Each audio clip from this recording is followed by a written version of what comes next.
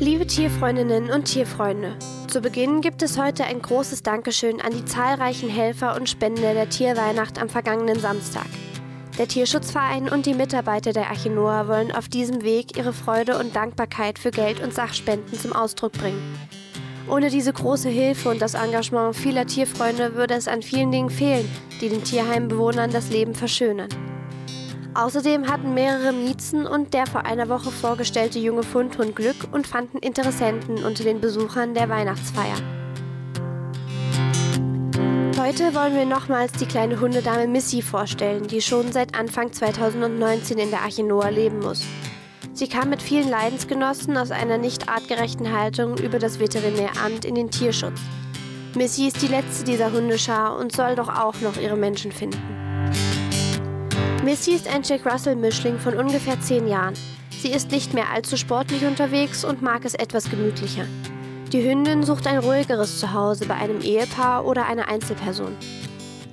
Die Hündin ist am Anfang fremden Menschen gegenüber etwas schüchtern, aber das gibt sich schnell, wenn sie merkt, die Menschen meinen es gut. Missy ist mit kleinen Spazierründchen zufrieden. Das ist gerade richtig für Hundefreunde, die keine ausgedehnten Waldläufe mehr machen können oder wollen. Zu Hause kann das aber auch ganz gemütlich sein, beim gemeinsamen Sitzen und Kuscheln auf dem Sofa. Die kleine Missy kann noch viele Jahre älter werden und das soll sie bei Menschenfreunden und nicht in der Arche Noah. Zum Schluss stellen wir noch ein Kaninchen vor, das in Gotha in der Leinefelder Straße gefunden wurde.